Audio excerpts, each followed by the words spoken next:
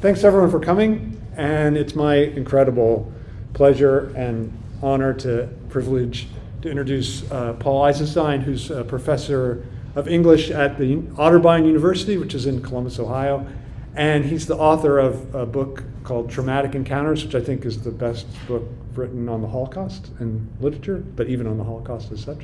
And he's also the co author of a book called Rupture, which I would praise to the hilts, but I can't because I'm the other author of it.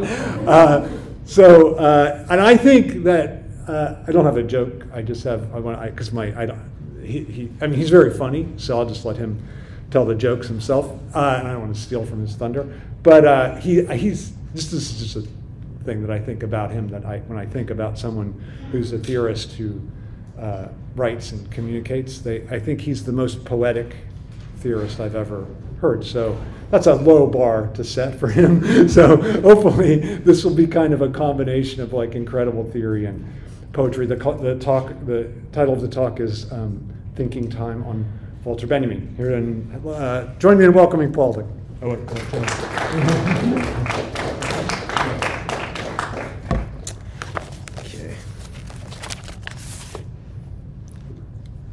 Everyone hear me pretty well? Yeah, yeah.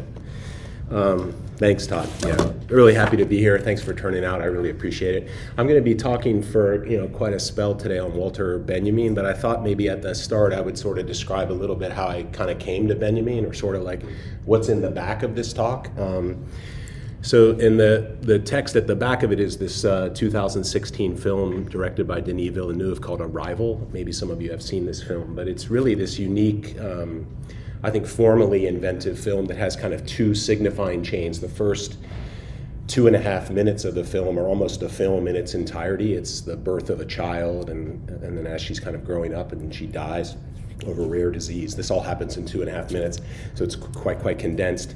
And then the second half is really the movie proper, which is the arrival of some uh, alien beings. They come in these 12 egg shaped shells and land in locations all over the, all over the world and they produce a kind of state of emergency.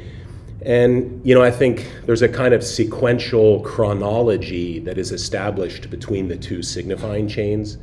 Um, and at a certain point in the film, the film kind of undergoes this sort of formal convulsion. Um, in the hands of a lesser director, you know, whenever there are films about aliens uh, landing, there's always like these conflict of attitudes films where you have like in this case, the good liberal English professor who wants to understand the alien other and learn their language and communicate with them. And on the other hand, are these like military personnel who see the alien other as a, you know, an enemy threat that has to be like possibly killed. Um, and I think one of the things that's so unique about this film is that in the second half, there are a series of images that appear to belong to the first signifying chain that you think are belong to a kind of temporal continuum.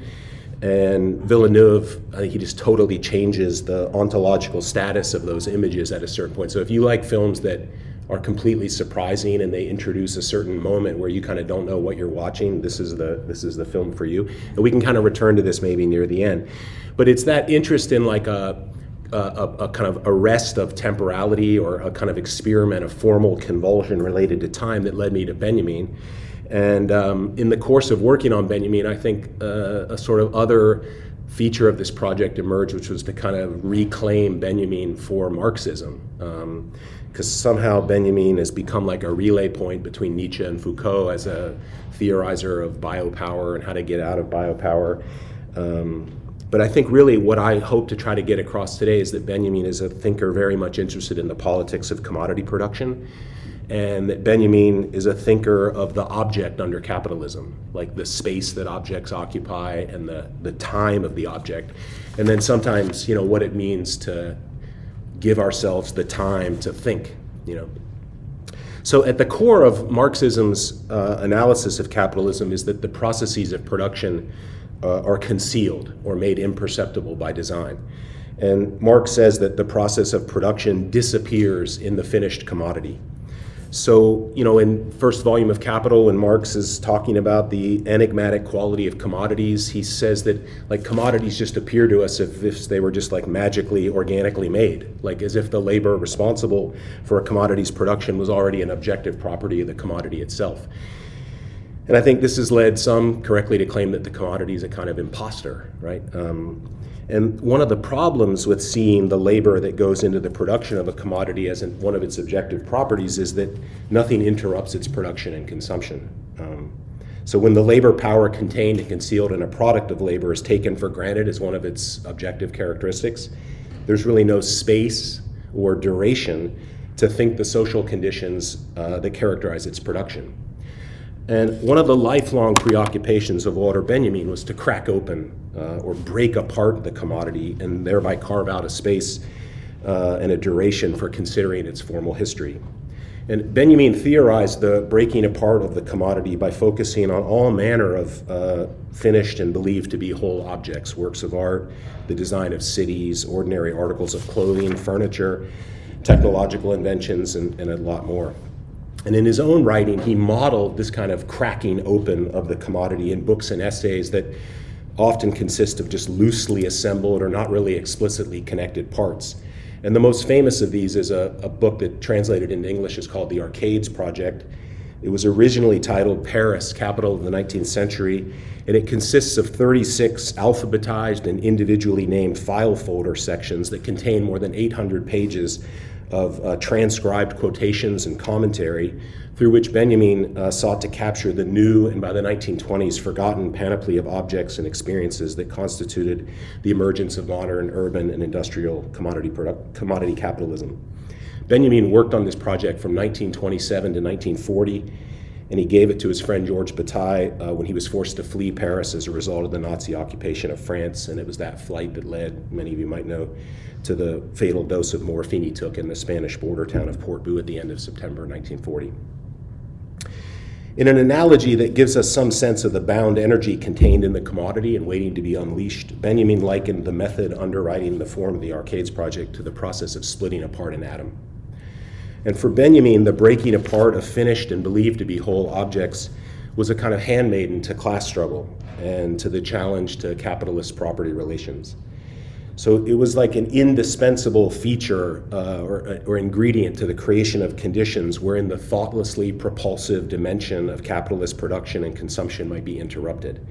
And Benjamin called this uh, propulsive dimension of capitalism its ideology of progress. And he was always trying to interrupt or call a halt to or somehow get in the way or make us think about what this progress uh, concealed largely the violence involved in commodity production.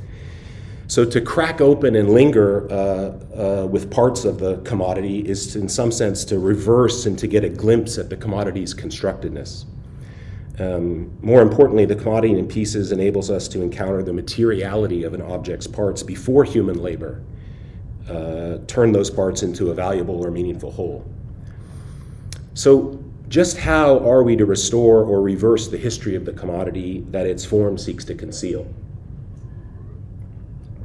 For Benjamin, the answer to this question involves him in the development of a theory and a method committing to changing the ontological state of the material components of the commodity, somehow wresting the constituent parts of the commodity away from the total form in which they are subsumed. Now, if you go to any store or visit any e commerce site, nothing really encourages the extraction of the commodity's material parts uh, from the productive processes and social values that they contain. Okay? Um, but in lots of other venues, capitalism itself kind of enacts the extraction for us. And there are a couple of different reasons for that. You know, capitalism is predicated on mass production, so they produce way more things than we need.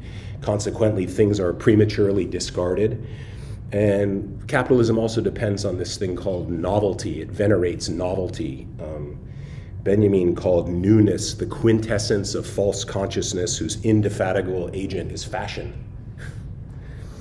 And in the 19th century, one of the things that Benjamin noticed with the rise of, of modern urban industrial commodity production is the casting off of things at a rate and on a scale that was just previously unknown. So if instead today, I think instead of shopping malls and new car lots, you just think of landfills, junkyards, boarded up houses, uh, even the middle of the ocean, you can see how the refuse and detritus of capitalism itself facilitates an encounter with commodified objects whose ontological state has changed. One of the most complicated and uh, novel insights of Benjamin's is his claim that these isolated or disintegrated parts of a formerly whole object are actually engaged in a unique form of communication. This notion uh, predates Benjamin's explicit turn to Marxism, but it's one that will go on to animate an anti capitalist ontology of objects that clarifies the tension that is part of the capture of material by the commodity form. And Benjamin has this basic idea, which really is that there's a distinction between a mental entity, okay, a mental entity, an idea, uh, uh, something that exists in my mind, and a linguistic one. And in 1916, in an essay that was only published uh, posthumously, the title of the essay is On Language as Such and on the Language of Man, uh, Benjamin refers to this distinction as unquestionable, okay? And he claims and laments that too frequently an identity between a mental entity and a linguistic entity is asserted. Now, obviously, in ordinary acts of communication, this false identity is taken for granted by many of us. So if you just think of like cooking recipes or owner's manuals or policy speeches or news articles or beach reads or true crime podcasts, you know, this point is pretty obvious. Like what is important about the communicative words that I hear or read is their instructive and informative content, like what they refer to or get me to understand. But for Benjamin, the sensuous, like the visual and oral dimension of language, what he called language as such, is something that has to be distinguished between the instrumentalized language of man, communicative language. And it's true that mental entities no doubt become linguistic, they take their place in the world of purposeful human communication. Um, but, uh, but the emergence and efficacy of a sign's linguistic or referential being does not produce an identity with the sign as a mental entity. And Benjamin claims that the assertion of that identity is the great abyss into which all linguistic theory threatens to fall. And he claims that the task of theory is to survive suspended precisely over this abyss. So the task of theory is to insist on a disjunction or gap, right, between a mental entity and a linguistic one. I'm talking about like a moment of suspension where something occupies my attention, like I, it's an object of uh, a mental entity, without it yet being named or known or able to be communicated to others. In the abyss to which Benjamin alludes, the object or thing is the bearer of this really strange and empty expressivity that he calls a communicating muteness. Benjamin's isolation of the prelinguistic, communicatively mute dimension of the sign anticipates what he will later see in the abandoned and broken down commodity, the parts of a commodity whose ontological state has changed because they have been separated from the whole of capitalist social relations of which they were once a part.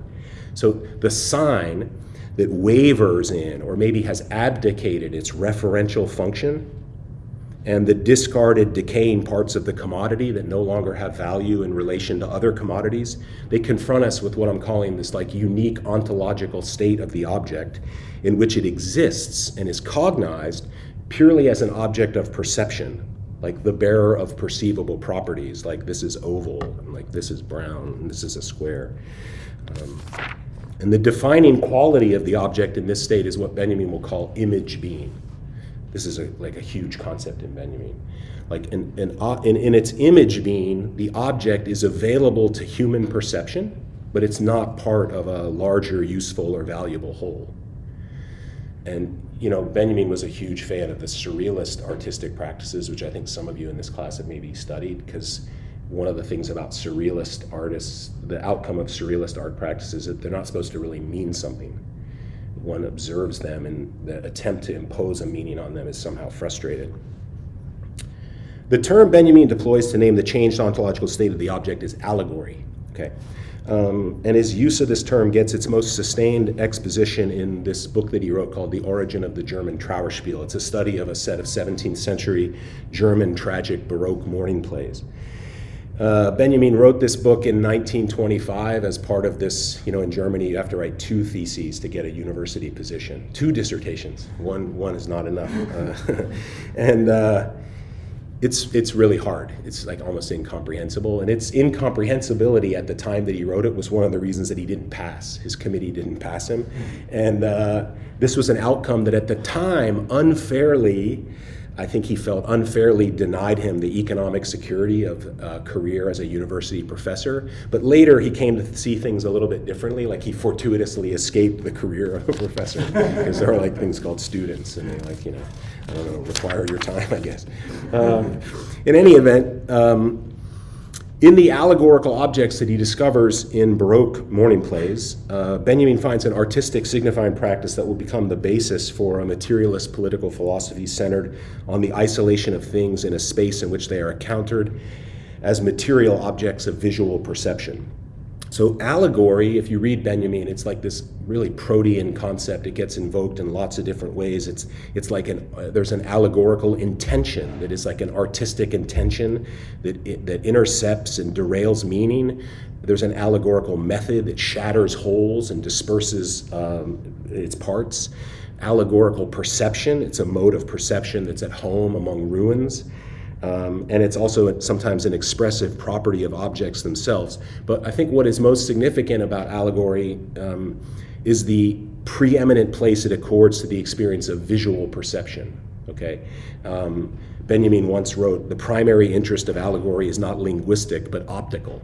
Okay, it's like what you can see. Okay, um, now this promotion of allegory um, by his own admission, is, a, is like a revaluation. Like allegory at the time Benjamin was writing was kind of not venerated. Like, in fact, it was seen as a very conventional mode of expression and also a very constraining one. So, in a traditional allegory, um, particular objects and signs are yoked to a larger idea that's antecedent to the work that the parts of the work just mechanically express. So, if you just think of allegories like uh, that are about the conflict between virtue and vice, for example. Um, these are like conventional acts of signification. Um, they typically have a very discernible, almost obvious moral message um, or political message, and um, that is external to the allegorical artwork, and which is the thing that they seek to communicate. And if you just think of like, I don't know, Pilgrim's Progress by John Bunyan, 1678 it's the journey of a protagonist named, are you ready? Christian, who is going to go to the celestial city, and all the characters and place names are, are obviously expressive of Bunyan's antecedent and overarching Christian commitments. But for Benjamin, these, these Baroque plays, they're in, especially in written form, they're up to something totally different. So he thinks that there's this modern allegorical form of expressivity that does not trap words or sequences of words in totalizing ideas that they can do nothing but mechanically express. Um, so modern allegorical expression for Benjamin is not like a perfunctory illustrative technique that it does not enact a conventional relation between a signifying image and its signification. Now, on what basis can he make uh, this claim? Um, his basic idea is that there are certain things in these mourning plays that obstruct or impede, they get in the way of the signifying image and its signification. Um, and because they get in the way, we are made aware of the image space of signification itself. So, what the formal features of the Trauerspiel do is to redirect our attention away from the space of the signified, what is being signified, and to the space of our optical perception of the sign as such. And this change spatial emphasis is what Benjamin gets at when he says that in the Trauerspiel, the essence of the object is dragged out in front of the image. What is crucial to Benjamin's political veneration of Baroque signifying practices is the unbelievable array of excessive and ostentatious attributes of the Baroque style. So, like in these mourning plays, especially in their printed form, there's like a, an array of anagrams, uh, syllabic permutations, you know, uh, uh, uh, erratic capitalizations, you know, emblematic embellishments at the level of printing or typography, okay? And if you were to see these, I mean, maybe you would say like, gosh, like this is like a, what's with these ornamental flourishes? Or like, isn't this like an artistic defect? This type of excessive, ostentatious display of like embellishments at the level of what you see. Um, but for Benjamin, um, these attributes are part of what he glimpses as a tense formal struggle between the objectives of the narrative plot of a play and the material features that don't share the same objectives. So, like broken down parts of a commodity, these signifying practices merely like occupy or take up space. You know, um, so the from this vantage point, the Trauerspiel at the level of their form are sites of a kind of political struggle. And Benjamin has this great way of putting it. He basically claims that the language of the Baroque is constantly convulsed by rebellions among its elements. So there's a kind of political rebellion that's happening like at the level of the sentence or on the actual page. Um, and it's a little bit like uh, like the bits and pieces of language have sort of said like i won't serve you know like it's like bartleby like i prefer not to. I, I don't want to serve the process of communication. Now okay slight digression. How am i doing so far? Doing okay so far? Okay um, uh, slight digression. So so you know benjamin once said that um, there was a jewish world inherent in his thought. And and his friend Gershom Scholem once thought that, once claimed, joked that he could become the next Rashi. Rashi is like the single most famous commentator on the 24 books of the Hebrew Bible.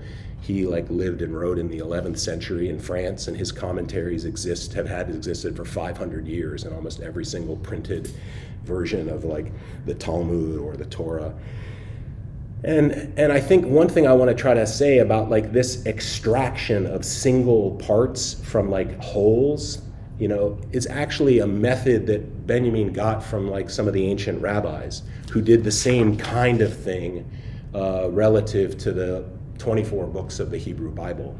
So, I mean, uh, uh, like they they take like a great story like how about this genesis? It's like a great story right? It's like sequential. It's like chronological. It's propulsive. It moves forward right and the rabbis thought that like that style of storytelling no you need to like halt it and like look at like one single sentence or one single phrase and focus on little things and you could come up with a lot that is being concealed right um, and the greatest example of this is actually the very first line of the of Genesis. In the beginning, God created heaven and earth, I think it is, yeah.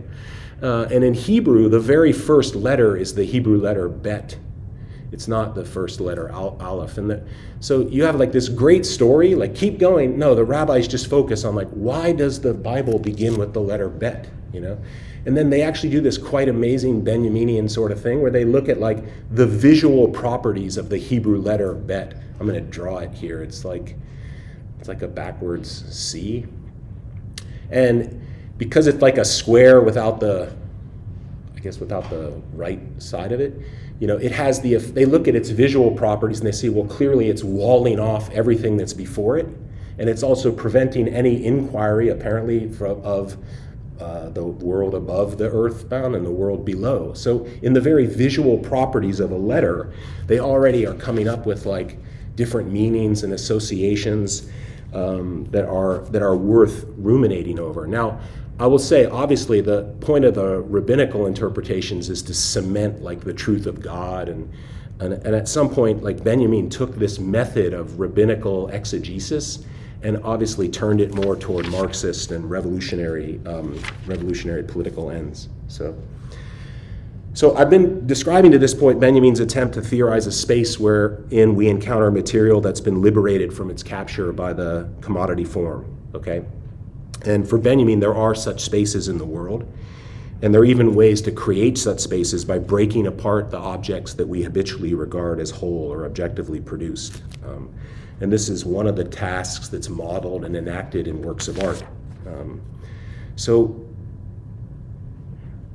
inseparable from this creation of an image space, okay, is that a different dimension of time emerges, okay? So when you encounter the image being of an art object, there's something different about the temporality that characterizes that, that, that moment. Um, so when we privilege the optical over the linguistic, the allegorical object over the commodity, the sign and its image being over what a sign productively signifies, our conception and experience of time can change. And Benjamin refers to this poetically as the wind of a coming dawn that blows cool from inside every work of art. In the way that it produces this new experience of time, art, he claimed, helps to provide the true definition of what is involved in progress. Progress for Benjamin, it has its seat not in the continuity of elapsing time, but in its interferences And he claimed that's when the truly new makes itself felt for the first time. I think there's a great link to Arrival that maybe we can talk about later. Um, this new interrupted experience of time contests the quietism and conformism that results from capitalism's naturalization of the propulsive dimension of time. And I think if we're to deepen the political salience of Benjamin's notions of the optical and the allegorical and image being, we should add two temporal ones. He developed these notions of the stopover and the standstill. Now, I think if you think about writing, forms of writing that press toward image, that kind of become image, this is true, I think, even in your own everyday life. Like when you encounter writing, like say it's in someone's handwriting, it can be harder to discern, right? And it simply takes longer to kind of understand like what is being communicated. Um, so I think there's a way in which a different or slower sense of time uh, comes about when what it is you're encountering is not immediately intelligible. So I would claim that this delay, like the fact that you have to spend some time to figure out what is being said, that is like the temporality of the object and its image being. And if you've ever had to read like handwritten letters or journals, especially from the 19th century, Nathaniel Hawthorne, um, you know, you, just to identify certain marks on the page takes time. Um, and this is true um, even in in understanding a person's dreams. Like it takes time to understand the parts that are a part of a dream. Now, everyone here knows, I think, that at one level, um, the degree to which capitalist production and consumption relies on a unidirectional and increasingly accelerated sense of time is obvious. Okay, like time under capitalism is defined by capital's identifiable and linked categories of movement. Um, Marx I think correctly sees that capitalism is the movement of capital through a circular clockwise circuit from money capital to productive capital to commodity capital, and then the renewal and repetition of the circuit itself. Okay.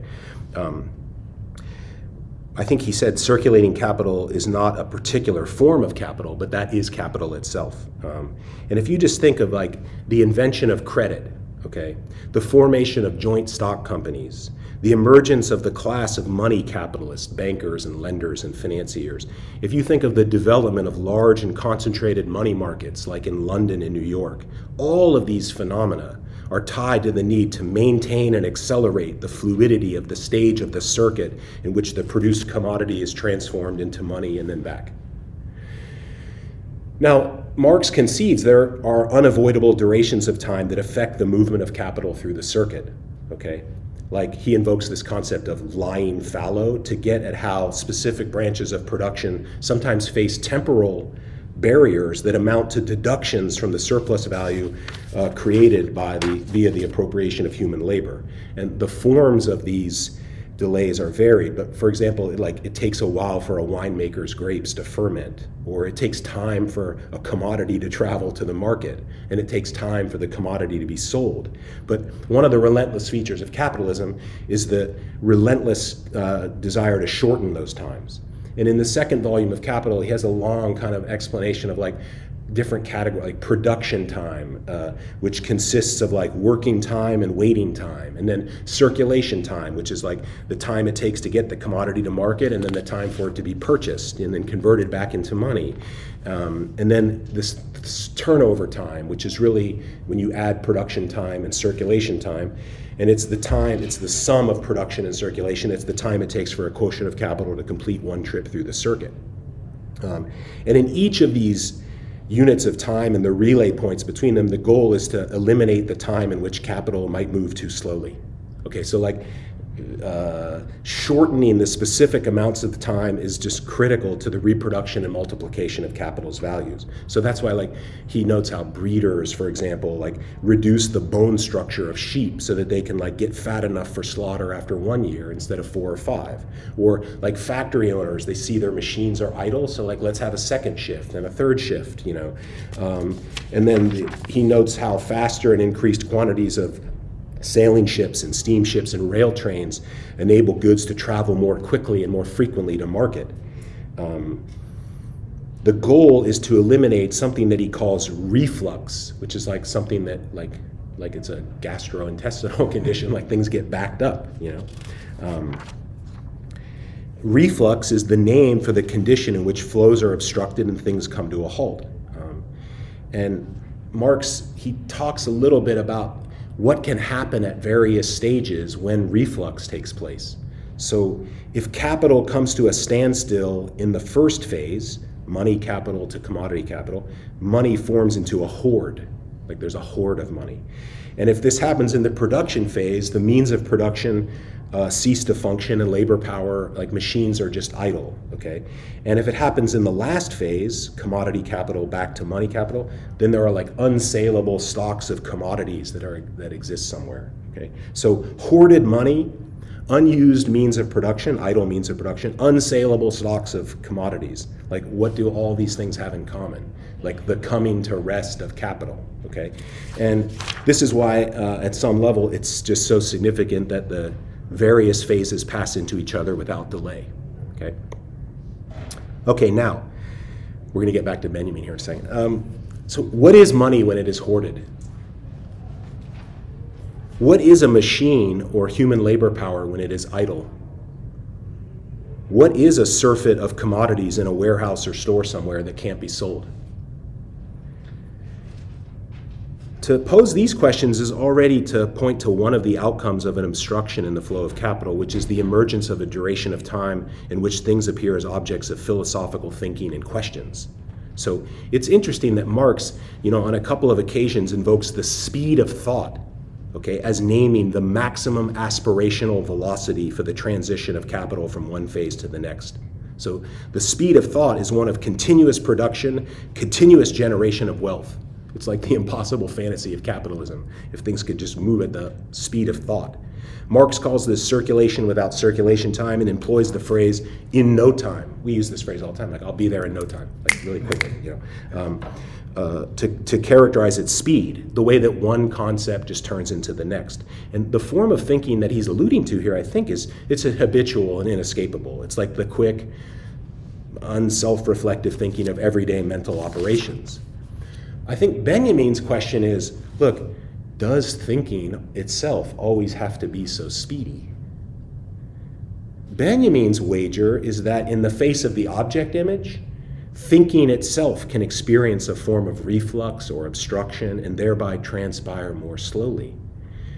So, if the form of the commodity encourages and relies on thinking quickly and empirically about things, um, you know, when there's like when, when things can slow down, you can actually in, have a form of thinking that, that, that like questions things or, you know, uh, act of a perceptual observation that prolongs the holdup. Okay? And in the pause to which existing things and not useful ones belong, the temporality in which thinking about objects as objects of thought comes to the fore. And there's this unpublished fragment Benjamin published, uh, wrote in 1928 in which he refers to the way our, our lives are dominated by propulsive thinking. Our thinking just glides from one object of thinking to another, but, but then he points to an alternative. And he says that everything is thought, but the task is to make a stopover at every, at, at, every one of these many little thoughts, to spend the night uh, in a thought no direct flights, to stopover, you know, like sit for a second in the airport and think.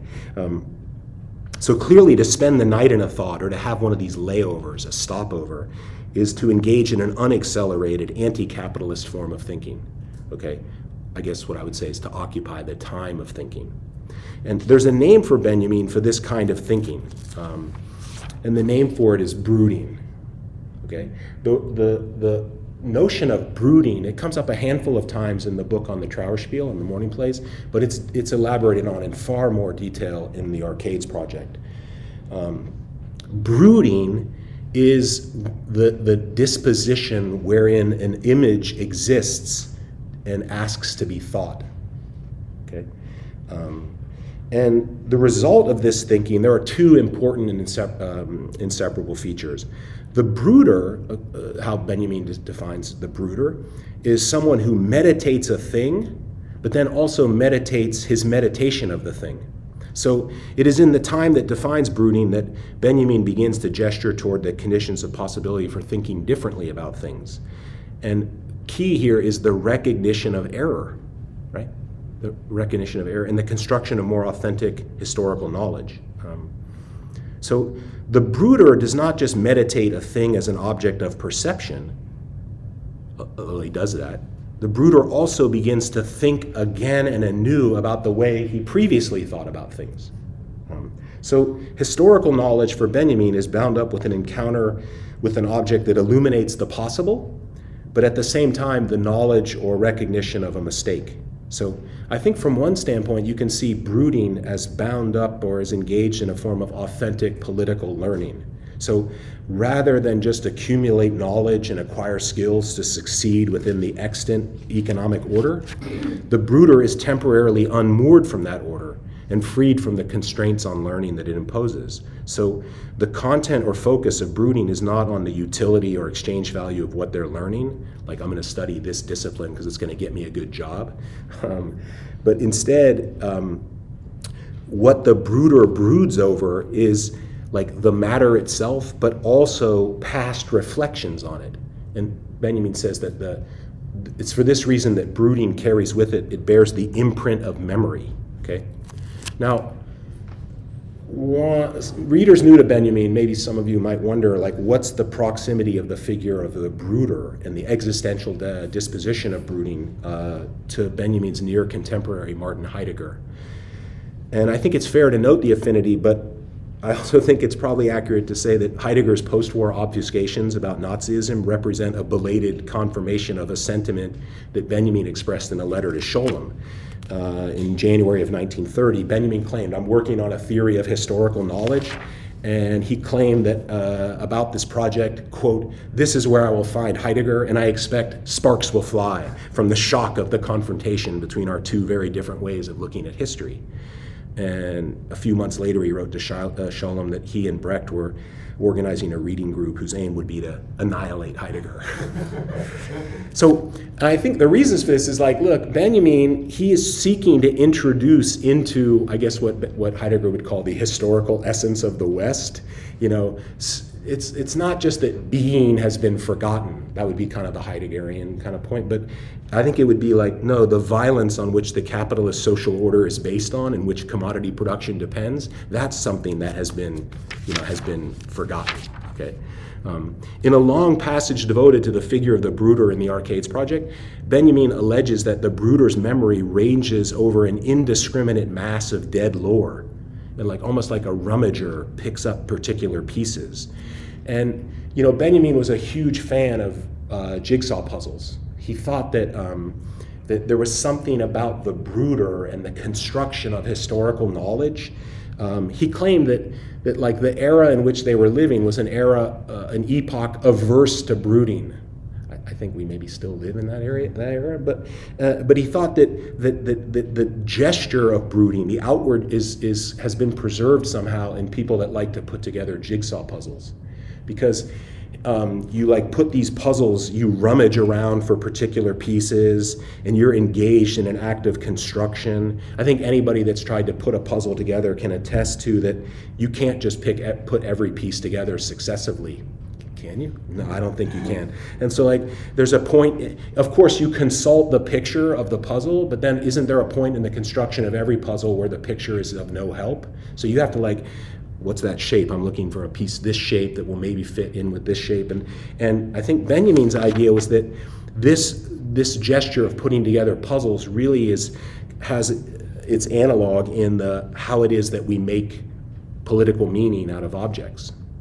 Like there's no natural fit between the sign and what it signifies. Um, the meaning of an object awaits the moment wherein it's invested with meaning, like this time of thinking. Um, and I think, I don't know, we were talking about this this morning, like how does one become a Marxist? Or uh, is it because someone told you Marxism is true?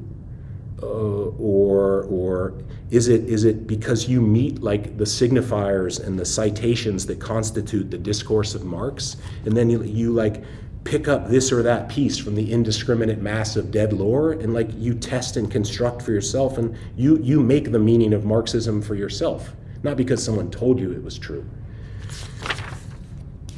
Oh my God. Okay, I'm almost done. Just a second. Um, not really, but okay. Uh, so this this brooder's memorial cognition of dead lore and an epoch averse to brooding, construction of historical knowledge. Okay, these motifs get their sharpest expression in an essay I think some people in this class have read, which is on the concept of history, which is I think represents the the culmination of Benjamin's theorization of the potent temporality that belongs to the arrest of thinking. And I think it's it's really remarkable that Benjamin, okay, in the spring of 1940, okay, is is continuing to put at the center of politics an ontology of the object that commands our attention at the level of its image being and thereby halts our thinking. So it's not like you would think like what we need now is another manifesto or speech or editorial or programmatic party directive. But Benjamin's like, you've read this essay where he basically says you need to be like a, a, a Franciscan friar and go to a monastery and retreat from the world and its affairs, which is really kind of just I don't know, an astonishing thing for someone like Benjamin to, to be calling for in the spring of 1940. Politics needs to turn away from the easily understood successive and transmissive speech acts that confine our thinking to empirical objects. So, on the concept of history, it alludes to the barbarism of capitalist exploitation and waste. It invokes enslaved ancestors, the fight for crude and material things, the anonymous toil of those whose labor makes it possible for the creation of cultural treasures, and of course the famous pile of debris that the angel of history is looking at. But, but even these like material uh, this material suffering uh, takes us takes a back seat to the time of thinking itself, um, and the clarification and creation of this time depends crucially on a moment of cognitive cessation. So one of the best lines in, on the concept of history is Benjamin's claim that thinking involves not only the movement of thoughts but their arrest as well. And I think it's this arrest of thinking that has some profound implications for the ways we conceive of time itself okay? In the successive movement of thoughts, time is seized or occupied or filled up, right? In such a way that one never conceptualizes or forms an idea of time, okay? So, like, capitalism depends on this human thinking that is like thoughtlessly, consumptively on the move. And when our thinking is only characterized by the movement of thoughts, we never get to that duration of brooding. And our thinking, for that reason, is shallow and, and transient. You know, what Benjamin alleges is that inside of this ordinary, homogeneous, empty time is this this other order of time entirely, which he calls messianic. You know, he refers to as messianic and calls it now time. It's like this precious and tasteless seed that inheres in our ordinary time.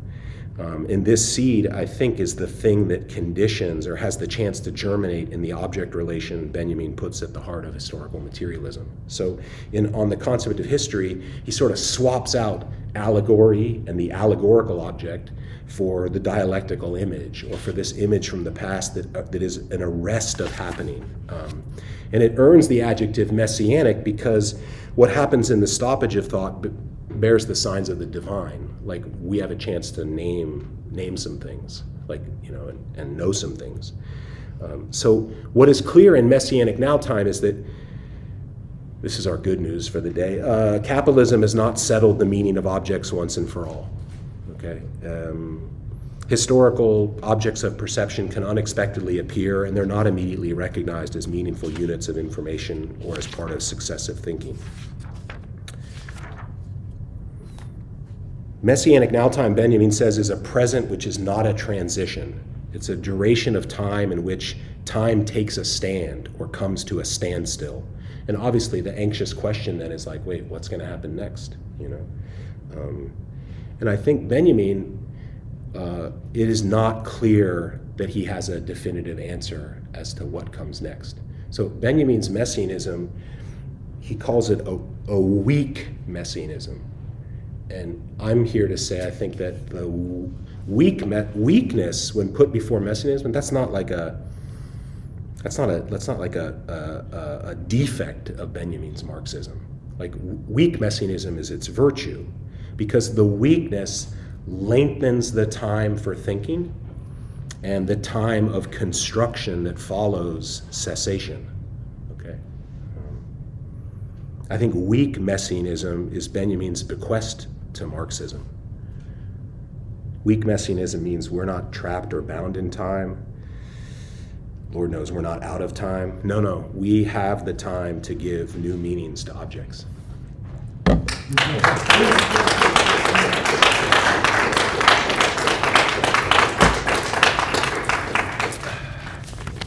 Okay, uh, when, yeah, time for questions. Or I have like seven. You don't want to hear me ask seven questions. Oh, Hil- Hillary has a question. I dropped my paper. Yeah. I also have seven questions. Oh, no. Um, I'm curious to hear you talk more about um, where where you would position Benjamin in terms of his relation to Marx's own emphasis on action over thinking. Yeah. And um, I'll just bring up Polly's point from the other day that she was asking me about existentialism and how where does action come in with existentialism? You know, like okay, so existentialism is a kind of thinking that then you make a choice and there's an action. So the existentialism kind of brings action into Yeah. thought, you know. And so I was just wondering how would you characterize um, what Benjamin I mean, in, in a way, this is what your whole talk was about, but I just Yeah. wanted to hear you talk a little bit more about it. Like, how would you characterize what Benjamin is doing to Marx's ideas? Like, does he just give up that idea of action?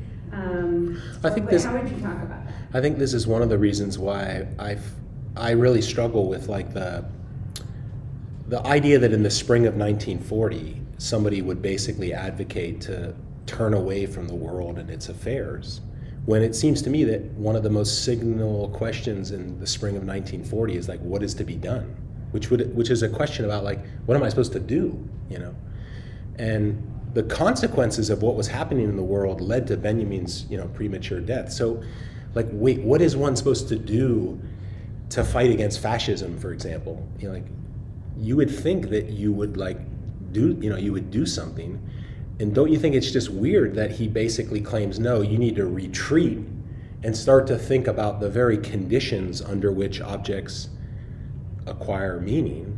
Um, and I think, I, I definitely think Benjamin, so I think Benjamin is probably more in the, he, Benjamin has Hegel before Marx, I think, because the phenomenology is entirely about how it is one has a thought, you know. And it's not really about acting. But I can see someone saying, like, wait a second, like, if we all now just don't do this, but like retired to, like, turned away from the world and its affairs, right? And spent some time lingering over the ways in which objects acquire political meaning, that wouldn't be a good thing, would it? So I don't know, do you have to have, do two things at once? I mean, I think, you know, I always think that you have to turn around. So it's true that thinking involves not just the movement of thoughts, but their arrest as well.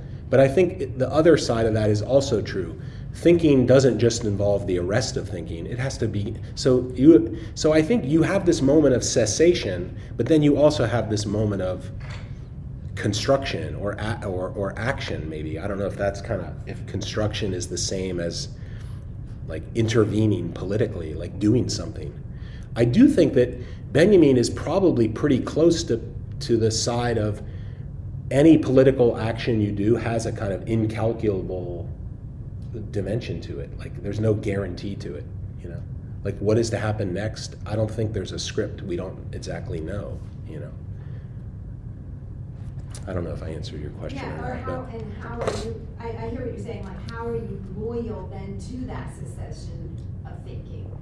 You know, rather than just, I mean, you experience it, but Yeah. then, like, how would it affect you after? you Yeah. know? So in the Trauerspiel, he, he has this thing where he's trying to avoid a politics that becomes doctrinal. So he constantly advocates for this like starting and stopping. Sto- or, no, I'd strike that from the record. It was stopping and starting, stopping and starting, stopping and starting. And he thinks that that's the way you avoid doctrinal, like automatic, this is what is to be done. here's this like political thing. It tells me in every single case what I should do, you know. And so there's, yeah.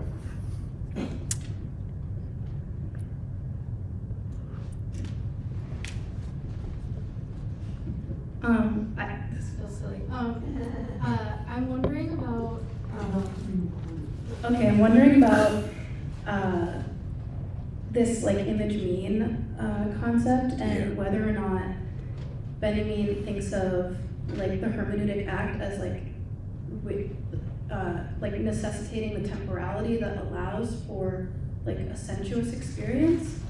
Like, I, I don't know, it's just like conflicting these ideas because I'm not familiar with Benjamin, um, of like letting an image exist as like a sensuous thing. That's right. Um, and then also like the sensuousness being in the temporality. I don't know if I'm making sense. Well, I think when you encounter an object and its image being, you're not really like, what does that mean? Or what is the larger narrative to which it belongs? Or how does this thing fit into what this larger whole? So when you're encountering that image being, it's been uncoupled from, cut from the larger narrative, whole, whatever that it was once a part of. So I think it's in the encounter with the object and its image being that you that this different order of temporality emerges because it's not propulsive or successive. It actually transpires more slowly. And so like I don't know, maybe like in Arrival, there's these, there are like several images that keep recurring in the second part of the film, and you think they belong to the past, but then all of a sudden something radically unbelievable occurs, and all you can really do is note some of their visual properties. Like, oh, that, there's like a piece of clay in that image, and the way it's like, so. So it's the Im- it's the object and its image being that is part of this different temporality in a way that like when you're just reading like a, a novel, for example, you're just like successively, propulsively moving forward, you know? And I think he's interested in how do you call a halt to that? You know, how, what, by what means can artists, I think this is why he likes surrealists, because he claimed like sur, a, a surrealist work of art, he, it doesn't have a little chink, a slot, like he called it the penny slot of meaning. You can't just like, no, it doesn't have that, you know? Um, I was going to say something else, but I just forgot it. Anyone? Um, so Benjamin makes the point that you kind of need to like remove yourself from the world to be able to kind of have those movements. And I was curious how you would make that like applicable to like the masses because I don't know in my head I feel like yes it's beneficial to like the individual, but then how does it make real movement in the world and how do you get a group to then move along and go with that? Uh, That's a great question. I mean, I guess my question for you would be do you think the masses that one feature of political movements could be this what I'm calling this time for thinking? You know what I mean? Like thinking about the the causes and objects that are at the center of a political movement and thinking about how they acquired the meaning that they acquired.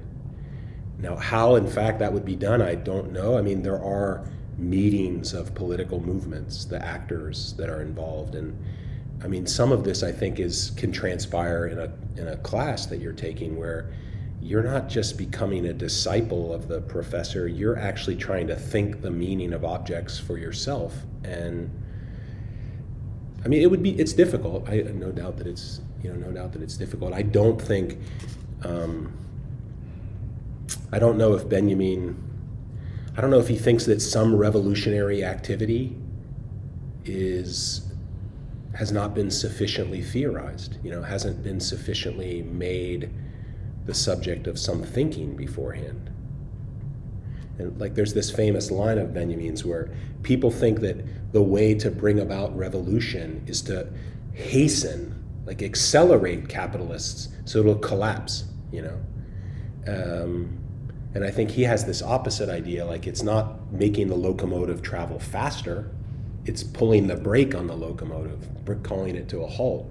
And then we all have this chance, like this interregnum, this like momentary suspension where the meaning of things are all up for grabs, you know? And they become the subject of dialogue and their own, like maybe a different investiture of, of meaning, you know.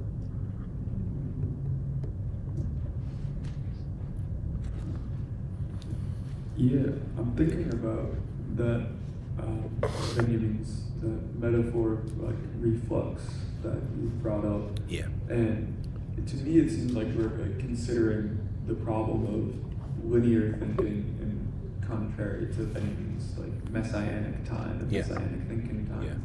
And it, within that dialectic, I'm I'm like curious about like where I don't know if this is an important question to ask, but where like a principal agency lies, because it almost seems like rather than within the subject coming to a contradiction or a point of rupture, it's almost that rupture already exists inherently in the world, and the reflux is that the world itself at the outside is rejecting linearity, Hmm. and I think that creates a space almost where the subject itself is ruptured in relation to the world. Yeah, I think I like this idea. Like that, is reflux something that's brought about by human activity, or is it already a part of the structure itself?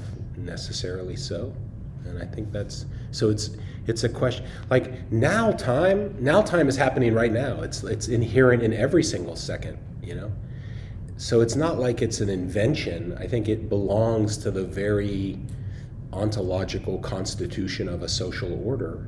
And I mean, I thought that that idea of reflux is just such an interesting one because Marx is describing, like, he's a political economist who's trying to describe, like, the vicissitudes of capital. So he, but he comes really close to, like, and he doesn't really ruminate over, like, wait, what is money when it forms into a hoard?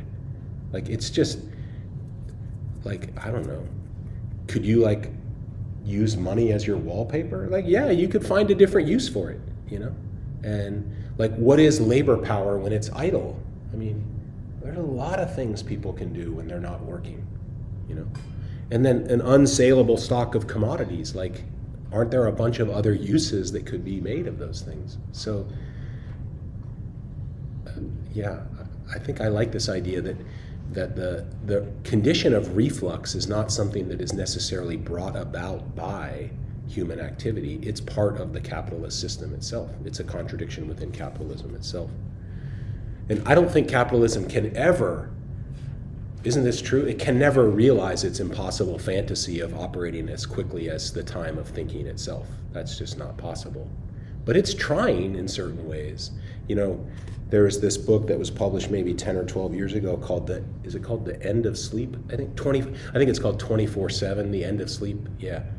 Where like there are there are attempts to try to reduce our need for sleep so that you can be more productive. And like that's just way like sleep is like a great the author of this book I think alleges that sleep's a great affront to capital. Because it's just like, what are you doing sleeping, man? Like you need to be like on Amazon buying shit, you know, or, or like you need to be productive. And like there are attempts to try to create like to end nighttime in certain parts of the world. Like by artificial or technological means, so that because if there's sufficient light, then we can like mine the ore out of the, the material minerals out of the ground 24 hours a day, seven days a week. You know, and I think if you think of like automated labor, you know, like the machine doesn't need a break. Machine's not asking for overtime pay. It doesn't need to eat and like get a half an hour break by law. You know, so I think there are all these mechanisms that are. I think he's right about like this attempt to continue to continue to accelerate and accelerate, but eventually there is kind of a limit there. You know, yeah. Thank you. Um, how would you go about? Because I think you're doing a really good job, like using Benjamin to identify all these things in, in like the, the pragmatic world. Um, but how would you go about um, applying him or thinking about him in terms of like individual action to affect change uh, in the political world, given like how you said like his maxim for individuals, you know, retreat from society and politics was kind of proven not the best idea in in 1940. Yeah. Well, I would say one thing about the last comment, which is I think the retreat is really just a preparation for some reemergence. So I don't think the hibernation or the return from the world is not is a is a turn a retreat from politics. Maybe it's just a necessary phase before one reengages.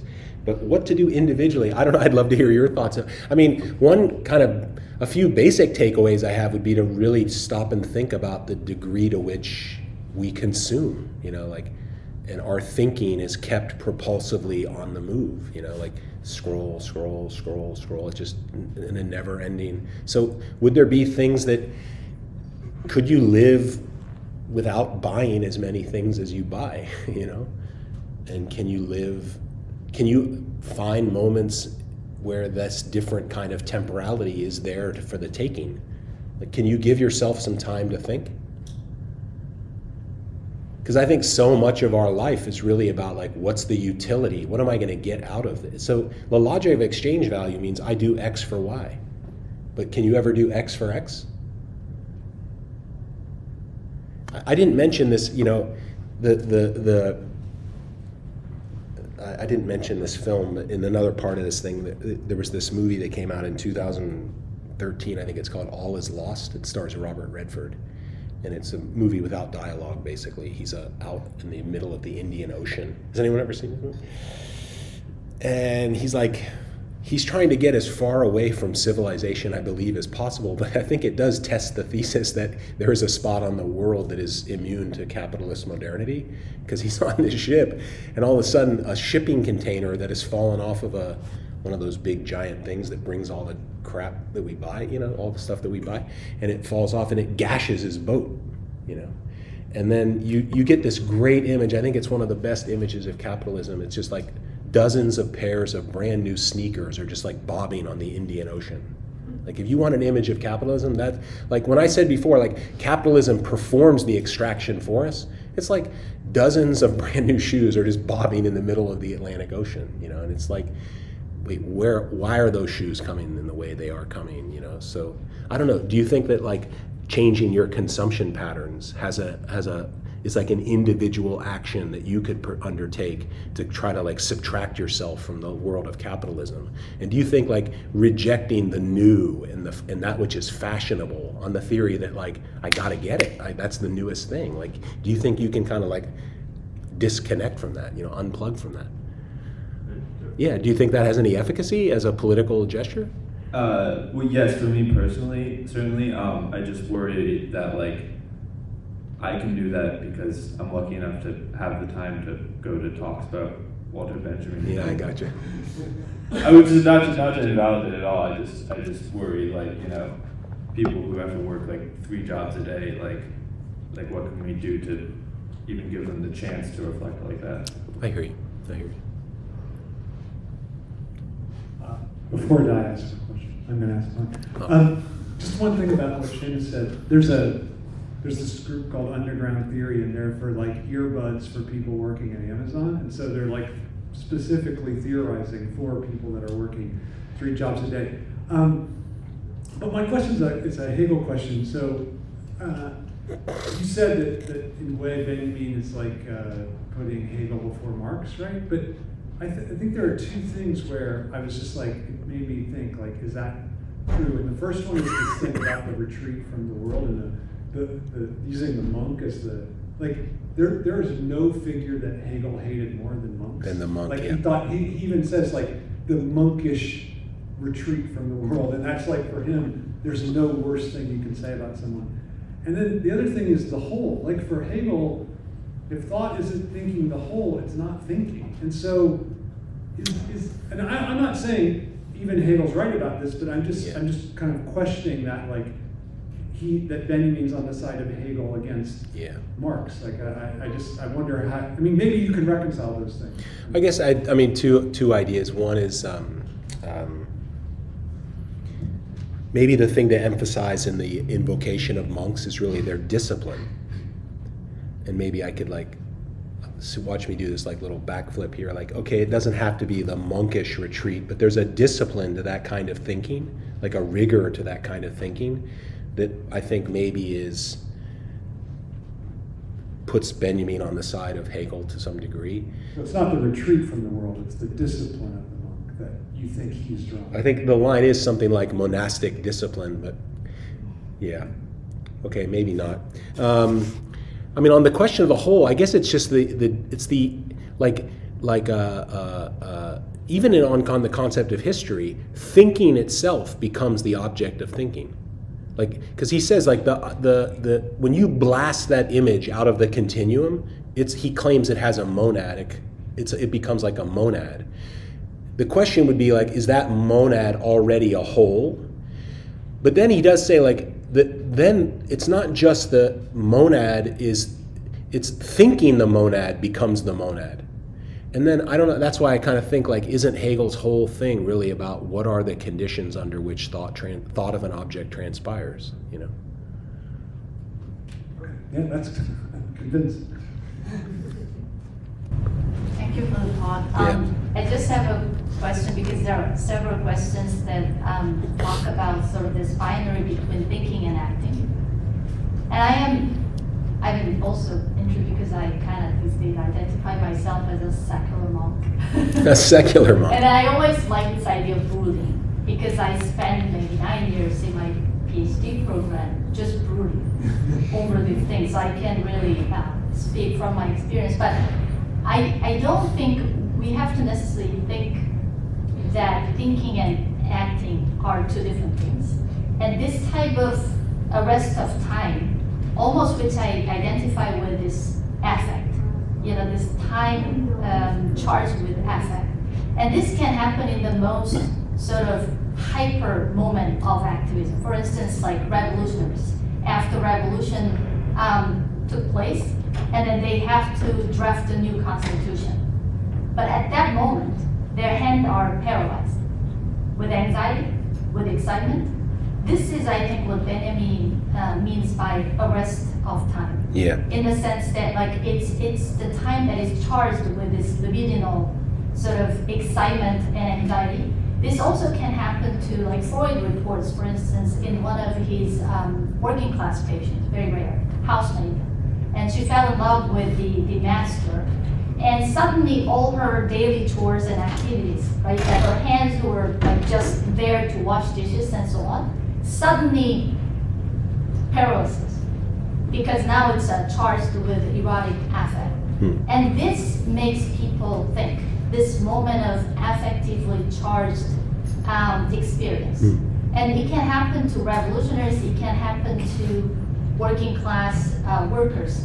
So we, we, we should not necessarily think that this is only something uh, reserved for elites. I mean, Right. of course, we, we do it as a job. Right. And I think the role of arts and humanities today are creating this room. Because Right. even when I was in, in graduate program, there's a lot of students, I mean, all of us are under pressure to publish, pressure to be productive, Right. you know, um, and so on and so forth. But really, we need this time, and, and everybody can experience this. Uh, and I think that's why, for me, the unconscious or even drive is more related not so much to act, but actually this moment of paralysis, like contemplation or meditation. Yeah, I- and I definitely agree that the, this now time is not the exclusive property of some and doesn't belong to others. It's available to all.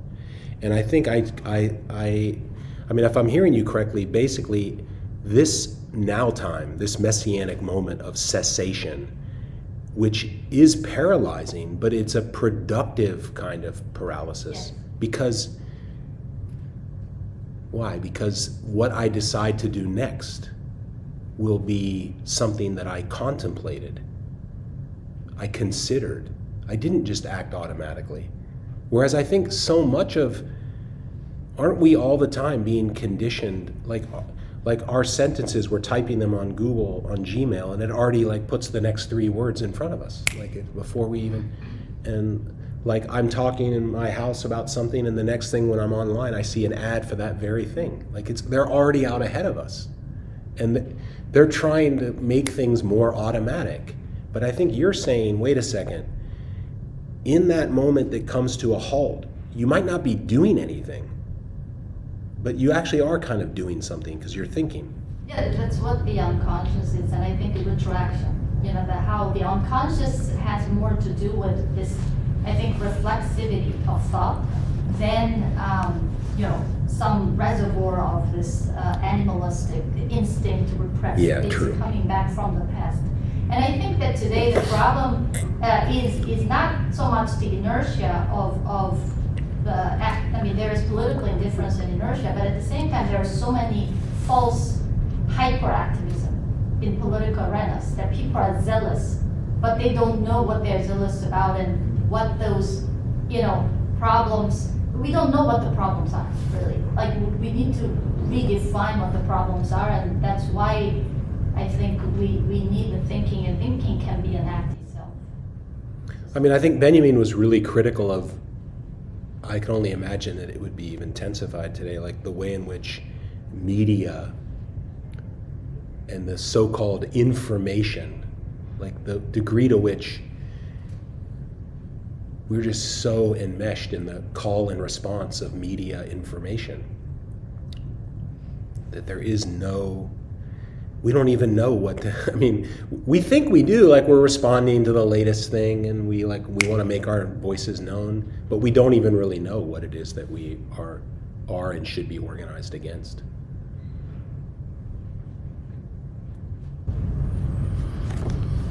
Jeff has the final question. Um, I was thinking about how this like reflux is already in capitalism, and it seems like one of the big areas of tension that we've all been talking about is like how this cessation turns into some kind of like political action.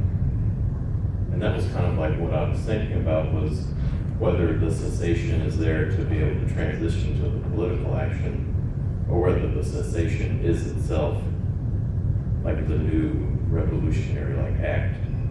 So instead of like in capitalism where you have the cessation and it's there just so you can get back to production, it seems like what Benjamin's trying to do is invert that hmm. to say, I'm in production, but I can't wait to get back to the cessation. Yeah. So the whole point is to like invert things. Yeah.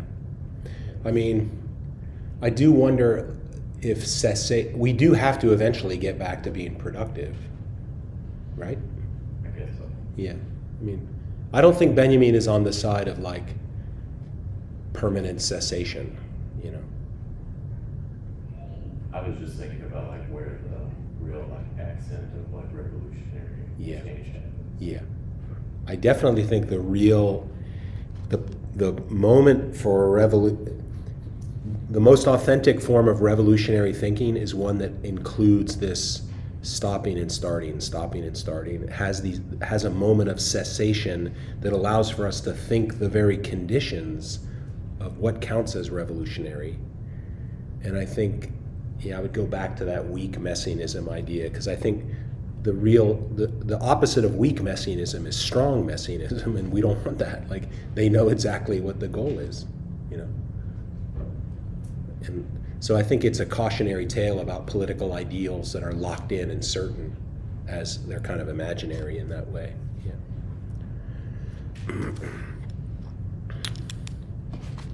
Thanks, Paul. Yeah.